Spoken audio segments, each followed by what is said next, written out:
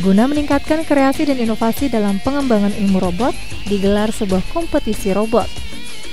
Kompetisi yang dinamakan Robotics National Competition 2014 digelar bagi para peminat ilmu robot.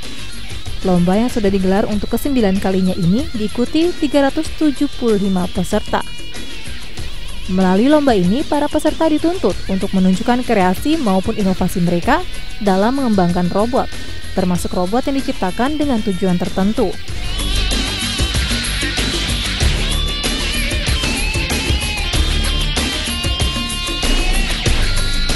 Tujuannya itu kita pengen mereka itu benar-benar melatih diri mereka atau mem, e, kasih ke orang tua bahwa mereka tuh sudah belajar apa aja sih di center kita seperti itu.